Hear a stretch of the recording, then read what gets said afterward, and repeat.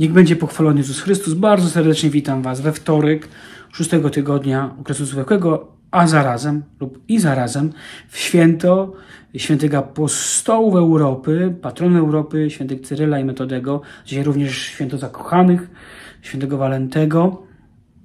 Więc y, też prośmy o to doświadczenie miłości, którego uczymy się też w relacji ze Słowem Bożym, w relacji z Jezusem, żeby to Słowo też wypełniało nasze serca miłością i nieustannie nas posyłało, tak jak Cyryla i Metodego, do ewangelizacji. Żeby to bycie z Panem Bogiem tak poszerzało nasze serca, żebyśmy pragnęli mówić innym o Panu Bogu, żebyśmy poszukiwali takich dróg, żeby do innych też dotrzeć z Ewangelią. Że tam, gdzie widzimy jakieś pogaństwo w swoim życiu, w swoim sercu i też może i w przestrzeni ludzi, pośród których żyjemy, żebyśmy tego nie oceniali, nie przekreślali, nie zniechęcali się, nie obrażali, nie gorszyli, ale tam zapraszali Pana Boga, tam zapraszali Królestwo Boże, żeby się rozszerzało.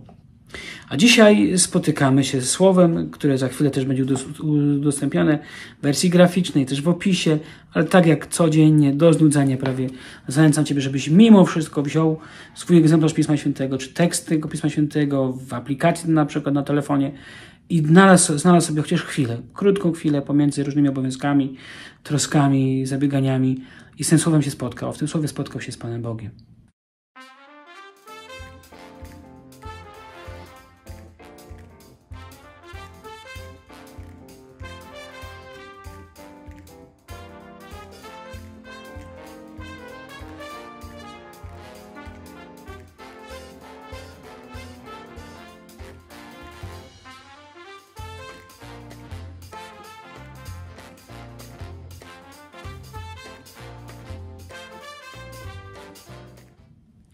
Dzisiaj na to święto przygotowany jest ten fragment z Ewangelii Świętego Łukasza o posłaniu 72, kiedy Jezus mówi, żniwo wprawdzie wielkie, ale robotników mało, dlatego idźcie.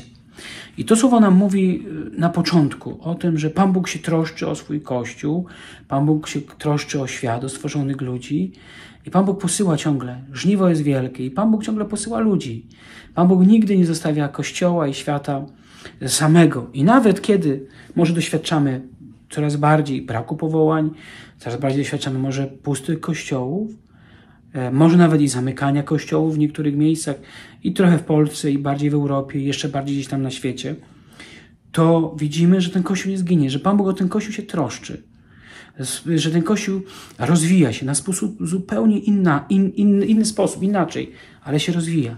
Że w tym kościele naprawdę doświadczamy Pana Boga, że w tym kościele rzeczywiście go spotykamy, że, że on jest obecny w swoim kościele i on się otroszczy i zawsze będzie posyłał, że jeżeli tylko będziemy chcieli, będzie nas pragnienie, to Pan Bóg nam pośle e, ludzi, którzy będą mówić nam, nam o Panu Bogu.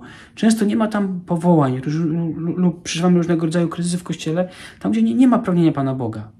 Tam, gdzie może tworzą się jakieś, nie wiem, interesy, e, gdzie robi się może tylko biurokracja, sztywne doświadczanie prawa, ale nie ma nie ma właśnie pragnienia Pana Boga.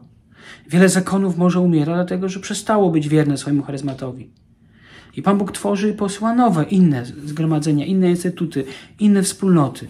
Patrzymy chociażby nie wiem, na Francję czy na Europę, która gdzieś umiera. Zamykane są parafie, diecezje, ale powstają jakieś nowe wspólnoty, nowe instytuty z pragnieniem życia radykalnego, życia Ewangelią. I to jest ta troska. E, I kiedy Pan Jezus posyła tych uczniów, też mówi, nie bójcie się, nie troszcie się zbytnio o to, co macie ubrać, to, co macie mieć przy sobie. Nawet nie martwcie się, gdy was do jakiegoś domu nie, nie przyjmą. Nie martwcie się tym. Po prostu idźcie dalej, a resztę mi zostawcie. To znaczy, że Pan Bóg chce te pokazywać, żebyśmy słuchali Jego słowa. E, I nie tak, że ja mam coś robić i teraz do, tego, do tych moich pomysłów e, dodaję Słowo Boże, tylko najpierw pytać się, Panie Boże, co ja mam tym wszystkim robić? Mieć oczywiście swoje pomysły, swoje plany na życie, ale w tych planach usłyszeć słowo Pana Boga, może to będzie inaczej, jakieś inne podejście do pewnych sytuacji. Może będzie trzeba z czegoś rezygnować. Może będą jakieś niepowodzenia, jakieś klęski. Ale Pan Jezus mówi, nie martwcie się tym. Po prostu idźcie, róbcie to, co macie robić. Troszyć się o to, na co mam w życiu wpływ. Ale resztę wszystko zostawić Panu Bogu. To, co, y, nie wiem, czy to mówi święty Ignacy Loyola, jeżeli, myślę, że to nie jest jakby najważniejsze, kto to mówił, ale, ale ważne są słowa, które były wypowiedziane. Módl się tak, jakby wszystko zależało od Pana Boga i rób tak, jakby wszystko zależało od Ciebie. Czyli na to, co mamy wpływ, robić, starać się, oczywiście, ale mieć na to wszystko też wiarę. I modlić się i zawierzać Panu Bogu. Yy, I też przyjmować yy, właśnie klęski. To, to są też ewangeliczne postawy, że jak coś mi się nie udaje, znaczy, że miało tak się nie udać. Rzeczywiście może nie mam tego robić. Może nie muszę, nie mam się w to angażować, tylko w coś innego, bo Pan Bóg rzeczywiście czasem otwiera nam serce na inne przestrzenie, na, na inne sytuacje. Mówię może zbyt ogólnikowo, ale po to, żebyś przypatrzył się swojemu życiu, swoim wyborom, ostatnim decyzjom, ostatnim sytuacjom w pracy, w domu, w rodzinie, małżeństwie, e, gdzie, kimkolwiek jesteś w klasztorze i zobaczył w tym wszystkim też e, rękę Pana Boga że on w tym wszystkim też jest. Że właśnie kiedy nawet coś ci się nie udało, zostajesz niezrozumiany, może tak ma być, idź dalej, nie zniechęcaj się, albo zostaw to. Bo może to rzeczywiście nie jest dla ciebie i potrzeba poszukiwać jakiejś innej drogi. I nie mówię, żeby zostawić małżeństwo, zakon, żeby zostawić jakieś obowiązki pracy, ale żeby to podejmować w jakiś zupełnie inny sposób, żeby szukać jakichś innych możliwości w Twoim życiu. Idźcie i głoście, idźcie, idźcie i głoście, nie zniechęcajcie się. Głoś światu Ewangelię, głoś światu Pana Boga, to kim jesteś. Jak jesteś księdzem, to rób to na ambonie, rób to na katechezie, rób to na rekolekcji, czy jesteś siostrą zakonną, rób to w klasztorze, na katechezie. Jesteś mężem, żoną, dzieckiem, kimkolwiek jesteś, cokolwiek dzisiaj w życiu robisz, to rób to tak, jakby to było rzeczywiście dobrą nowiną. Uśmiechnij się, powiedz dobre słowo, powiedz komuś pokój, nie? pojednaj się. To są takie rzeczy, na które ma, mam wpływ, w które mogę głosić Ewangelię, e, kogoś pocieszyć, kogoś przytulić, e, komuś dodać otuchy. Walentynkowo, nie walentynkowo, e, ale a przede wszystkim ewangelicznie.